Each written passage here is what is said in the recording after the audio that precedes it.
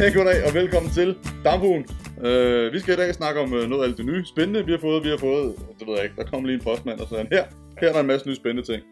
Og er du gal, mand, hvor er du meget. Så vi tænkt, vi kunne lige så godt lige snakke lidt om det, og fortælle jer, hvad det er, vi har fået. Det Ja, synes det jeg er var en god idé. Cuboid 150. Cuboid 150 watt, som allerede nu, jeg ved godt, den hedder 150 watt, står også på æsken. Den kan allerede nu opdateres til 200 watt. Så er man klar over det, Ja. i hvert fald. Øh, bruger to 18650 batterier. Løse 18650 batterier. Slet ikke dårligt. Stort set samme funktion som uh, Elix Mini. Ja, altså hvis man kender Evic VTC Mini, så er interfacen, altså brugerfladen, fuldstændig den samme. Den kan bare noget mere med, du ved, øh, SS-tråd, nikkeltråd, øh, titanium og almindelig kantal selvfølgelig, og så er den noget bypass også, og så er den det her nye øh, øh, sådan nogle memory functions og sådan noget der. Ja. Det skal vi ikke komme ind på nu. Det kommer i en særskilt video. Ellers, så har vi også fået noget mere faktisk. Hvad har vi ellers fået? Oh, har fået den her. En øh, 521 tab hedder den faktisk. Det er også en slags øh, ohmlæser øh, fra Geek Vape, dem som også har Griffin og den nye øh, Avocado, som vi også går og venter lidt på. Ja. Øh, ja, en, øh, en anden slags ohmmåler. Så er kommet den her Cubus Tak. Cubus, og den er faktisk spændende. Så Ja. jeg går lige hurtigt snakke om. Øh, det er sådan en, det er nærmest en kop, der er ikke, den, den er 100% leak-proof, altså lækagefri, siger producenten også selv, øh, som er Joytech i øvrigt. Den har sådan en lille kop, hvor man bare sådan pff, hælder væsken i, og så... Øh, altså, det er bare en kop, man kan drikke af den, hvis man har lyst til det. Man kan bare tage den der ud, så er det en lille kop. Faktisk pisse og smart. Og så kan den det her, som jeg er stor fan af. Prøv se, prøv se. Det er for vildt. Shoot, shoot.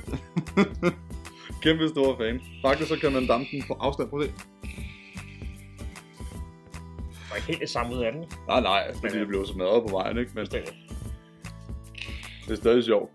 Øh, hvad har vi ellers fået? Hvad har vi ellers fået? Triton Mini. Mm. Triton Mini har vi fået. Øhm, er og, ja, den er helt vildt sød, mand. Den bruger nogle lidt mindre coils. Det er faktisk øh, et rigtig godt alternativ til, hvis man bruger, øh, øh, hvad, ikke, eller til slutter, Nautilus. Ja.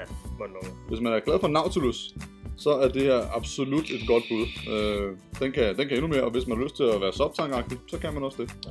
Den er rigtig sød. Den er med sød.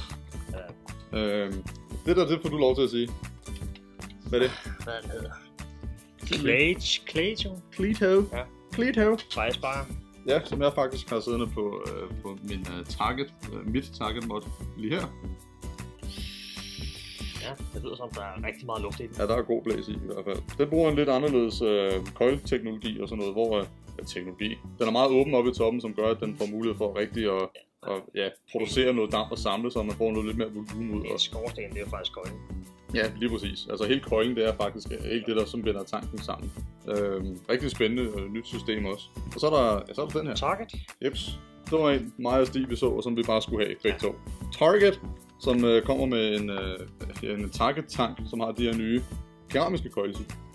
Ja, de er faktisk fede. Det, det, er, det er en helt ny, det er faktisk en ny coil-teknologi med keramik i stedet for. Keramik er mere holdbart og så videre, så derfor skulle den have længere levetid også. Så steder at putte batteriet i også. Men altså, ja, og tanken også. Det, det er sgu et meget sjovt lille sæt. Øh, absolut. Og som det sidste. Hvad er det her, Stig? Jeg går ud fra, at det er skins til Mellow. Det er skins til Rollo.